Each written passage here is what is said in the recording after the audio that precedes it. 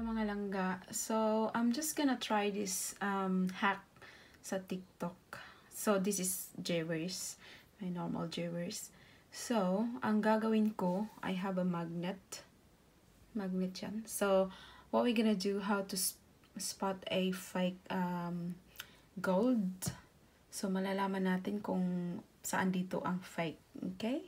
You guys ready? So, ayan.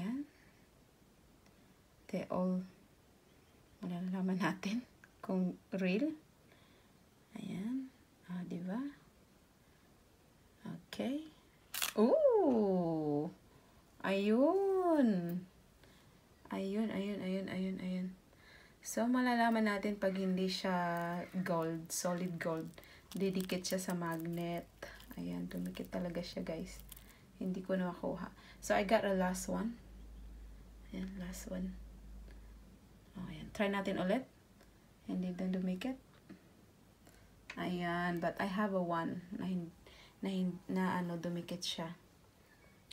So, how to spot it? So, kuha lang kayo ng magnet and try it to your jewelry. So, ayan lang guys. It's a hack. Nakuha ko lang yan sa TikTok ha. Ayan. It worked though. O, diba? Get a magnet and try nyo yung jewelries nyo. Bye!